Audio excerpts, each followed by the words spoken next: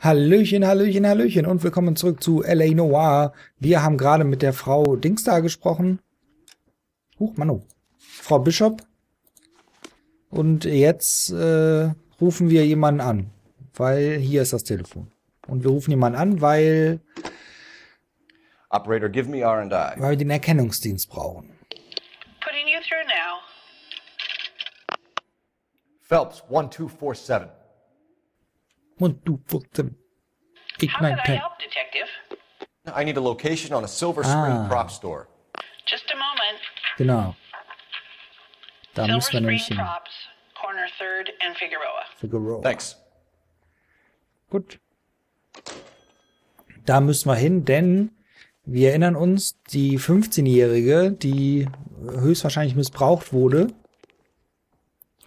äh, hat sich dort an dieses seltsame, hallo? An dieses, an diese seltsame Meerjungfrau. movie star, a wannabe Erinnert? starlet, and movie producer's wife. We're finally rubbing shoulders with the almost rich and famous. And from the stories they've given us, clearly none of them can act.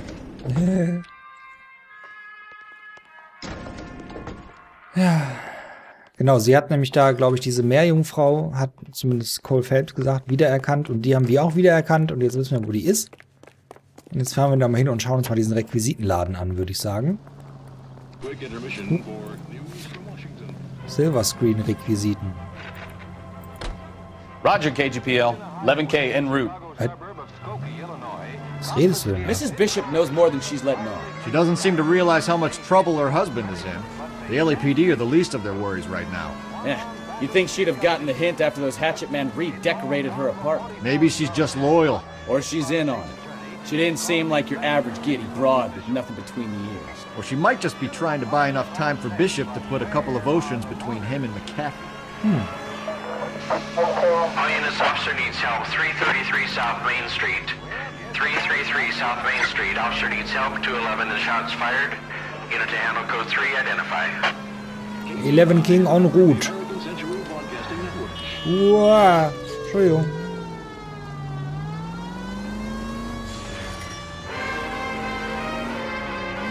Ja, da ist wieder ein Schusswechsel, ein Straßenerbrechen, Verbrechen. Und wir sind natürlich auf dem Weg dahin. Aber natürlich beschäftigt uns der eigentliche Fall, beschäftigt uns ja viel mehr. Was ist da passiert mit, dem, mit diesem Film? Was, was läuft da ab für Machenschaften, für düstere, düstere, dunkle, fiese hui, Machenschaften? Hat wirklich June Ballard sich versucht, die Rolle zu erkaufen, indem sie dem leicht pädophil veranlagten ähm, Mark Bishop ein 15-jähriges Mädel besorgt hat, sozusagen. Danach sieht es im Moment aus. Hä? Dann sind wir jetzt zu spät, oder was? Entschuldigung. Ja, genau, ich mach das Absicht. Da sind wir. 333 South Main Street. 333 South Main Street. Officer needs help. 211 and shots. What's the situation? Uh, we got a hold up gone sour. Three guns locked themselves in with two hostages. I tried to go on through the front, but the place is a fortress. I nearly got a mouthful of lead from my trouble. All right. I'll see if I can get in through the back. All right, I'll stay here and keep them busy. Okay, wir gehen hinten rum. Let's go. Try the back. Ja, wir versuchen es hinten rum. Hier, durch die Gasse. Durch die hohle Gasse muss er kommen, oder wie das heißt. Ah, ich erinnere mich, hier bin ich immer falsch abgebogen. Da bin ich immer schon zu früh rechts rein. Hier schon, weil ich dachte, es geht hier rein. Aber es geht erst hier rein.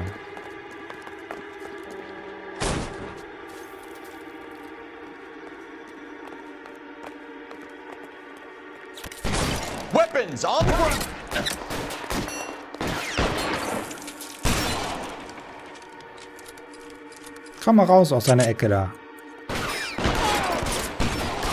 Oh, mein Hut. Mein Hut. Stay down.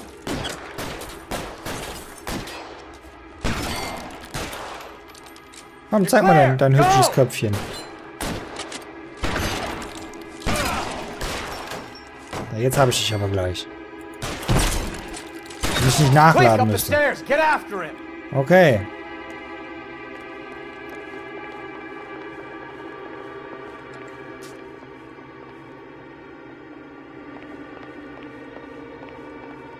Ach, der ist hier oben. Oh. Oh nein, oh nein, oh nein, oh nein, oh nein. Put the weapon down Now. Nein! Verdammt. Und er ballert jetzt auf 50 Magazine in uns rein. Äh, Darf ich die jetzt eigentlich nochmal neu starten, dieses Straßenverbrechen, oder ist das jetzt auf ewig gescheitert? Ah, nein. Okay. Ja. 333 South Main Einmal versuchen wir's Officer needs noch. help. 211 and shots fired. Unit to handle code 3 identified. Das kann ich auch nicht überspringen. Nee. Uh, Ja, also wir müssen irgendwie schneller zielen, beziehungsweise besser zielen. Schnell, schnell genug war es ja eigentlich, aber es muss halt schneller gehen. Äh, es muss besser gehen, Entschuldigung. Ich muss, ich habe wohl Let's go. das Ohr, Ohrläppchen der Geisel verletzt. Hallo? For? Achso, ich hatte Caps Lock an. Okay. Dann rennt er also automatisch mit Caps Lock. Ist ja interessant. Aber das möchte ich eigentlich nicht. Okay, vielleicht können wir jetzt die anderen auch mal äh, besser erledigen. Als das letzte Mal. Fump. Fump und schnell in Deckung gehen. and wave them around like you just don't care.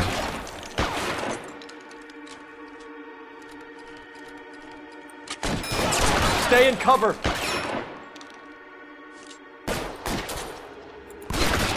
Quick, up the stairs. Get Okay, das ging was besser, wo ich trotzdem leider meinen Hut verloren habe. Was mir gar nicht so gut gefällt. Und es gibt ja irgendwie so ein bisschen Punktabzug. Also es gibt zumindest Bonuspunkte, wenn man den Hut dann auf, auflässt. Put the weapon down now. Wie Geisel getötet. Ich töte doch nicht die Geisel. Okay, einmal noch. Warum töte ich denn die Geisel? Ich mache vielleicht einen Streifschuss, einen Streifschuss an der Wange. Aber die Kugel geht doch dann dem Typen voll ins Gesicht. Und der überlebt und die Geisel nicht. Das reimt sich zwar. Oh. Ey, Kollegen, ja? 333 South Main Street. Officer needs help. 211 and shots fired. Unit to handle code 3 Anstatt dass die auch helfen, hauen die ab oder was? Mann, Mann, Mann, da trinke ich gleich mal einen Schluck Kaffee. Three guns locked themselves in with two hostages. I tried to go on through the front, but the place is a fortress. I nearly got a mouthful of lead Ja, from my der ist leider kalt, der. Kaffee. I'll see if I can get into the back. Alright, I'll stay here. Keep them busy. Kalter Kaffee ist so mittellecker. So, komm jetzt. Ja. What the hell? What the hell? Ja, wir laufen noch. Warum haben wir eigentlich hinten so einen, so einen Schlitz im, im Oberteil und äh, hier Stefan nicht? Wer sich mit Au Hallo? Wer sich mit Anzügen auskennt, kann mir das doch bitte mal sagen. Das würde mich jetzt echt mal interessieren. Ich kenne mich damit ja so überhaupt gar nicht aus. Könnte ich uns auch hier.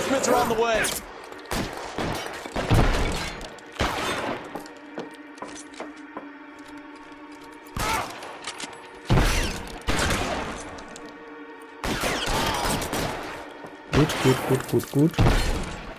Mit seiner Shotgun, ey. You're covered, Phelps. Quick, up the stairs. Get after it. Okay, jetzt aber. Jetzt aber bitte. Bitte, bitte. Lass mich doch die Geisel retten. Ich bin super Polizist Cole Phelps. Ich muss die Geisel retten. Put the weapon down now.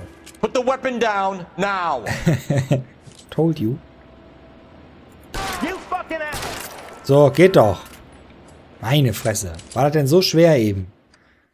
Mussten zwar zwei Schüsse sein, aber okay, ich wusste nicht, dass er noch ein Stück weiter vorkommt. Ich dachte, das wäre alles, was er sich äh, nach vorne lehnt, wäre das, was er schon getan hatte. Car 11K, I've been involved in a shooting at 333 South Main Street.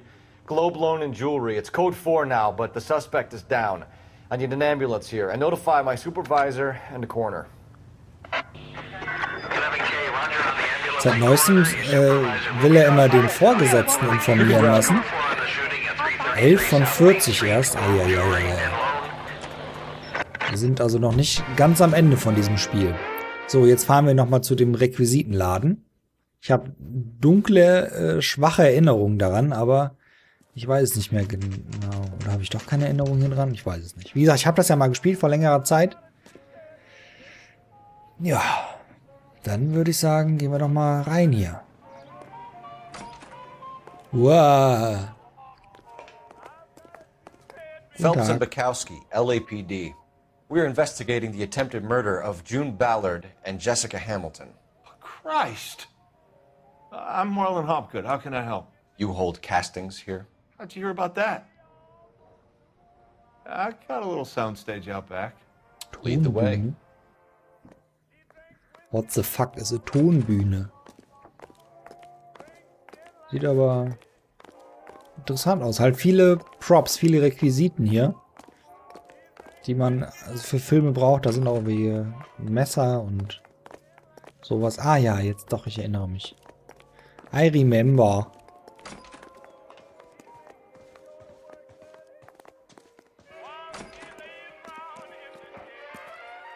Keep him here, Stefan. I'm gonna take a look around. What's this got to do with me? Don't try my patience, knucklehead. Who's the knuckleheads? We're the knuckleheads. Who's the knuckleheads? We're the knuckleheads. Schauen wir uns mal um.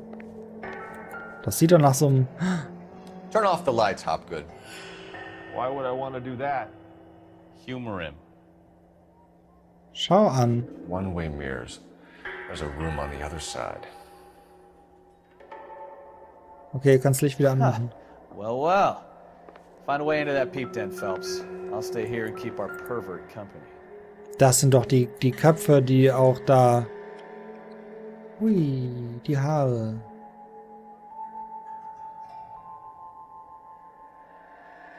Aber er sagt, ach, sind wir jetzt schon so weit vorgekommen äh, im, im Spiel, dass er nicht mehr sagt, wenn irgendwas unnütz ist. Das ist schade, da kommt man immer so lustige Sprüche sich draus zusammenbasteln, wenn er wieder irgendwas gesagt hat. Ding dong. Überall diese Schrumpfköpfe. Warum liegen die überall hier rum? Für was für Film braucht man so viele Schrumpfköpfe? Ist das dieses Chloralhydrat vielleicht? Chloralhydrat, 100 Gramm Chloralhydrat-Tabletten. Giftig für Gegenmittel sofort Arzt verständigen. Doping a 15 year old kid and abusing her in a screen test. What is wrong with these people? Aber echt, ey. Eieiei.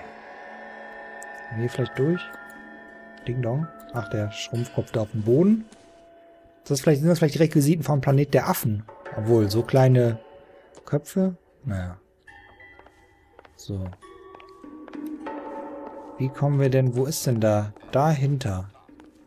Gehen wir doch mal hier raus. Und hier rein. Can't be that way, Phelps. You couldn't fit a rat through there.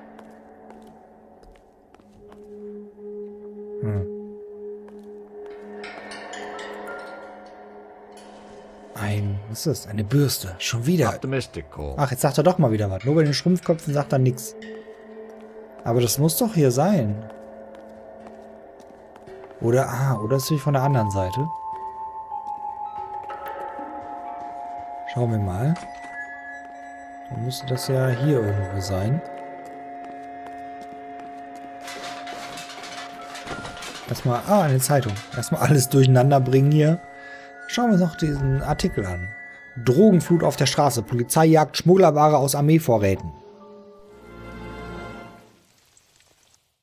Listen, I uh, have to call you back. I got some business here. Sit down, Courtney. This is Mickey. Mickey, this is Courtney Sheldon. What would you like to drink? Scotch. Straight up. I hear you're back at school learning to be a doctor, kid. Yes, that's right, Mr. So Cohen. you want to be a doctor and a dope peddler. Interesting combination, huh? Do we have a problem, Mr. Cohen? We might have. Yeah. Selling your dope to my boy Lenny looked like a good move, but Lenny has been supplying uh, wholesale, so to speak. The Bindle boys in this town aren't used to the juice without a little of the middleman taking his cut.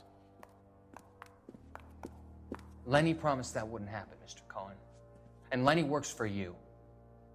What can I say about Lenny? Let me think. Oh, yeah, he's a putz.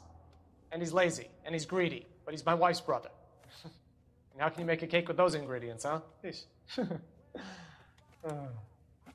So how is that my problem, Mr. Cohen? Well, kid, the only way we're going to be able to make this work is to do some repackaging. We need to get the dope out of those dinky little cardboard boxes and. Surrettes. Yeah, Surrettes. Great. We can put it into a big vat so we can water it down a little bit. I won't bore you with the chemistry, but it doesn't work that way. You're likely to kill even more people. Okay, listen. We want to buy you out, kid. I'll offer you 50 grand.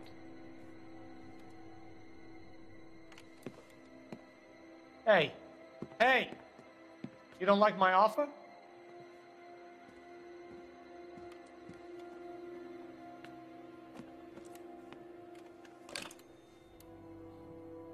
Sheldon kid? I think I want him dead. Oh. Oh, wow. Oh, wow, oh, wow, oh, wow. Ja, in der nächsten Folge werden wir uns äh, nicht mehr damit beschäftigen, sondern weiter hier nach diesem geheimen Raum suchen. Ich hoffe, ihr hattet Freude, Freunde und viel Spaß und wir sehen uns in der nächsten Folge wieder. Bis dahin, vielen Dank fürs Zusehen, macht's gut und Tschüsschen!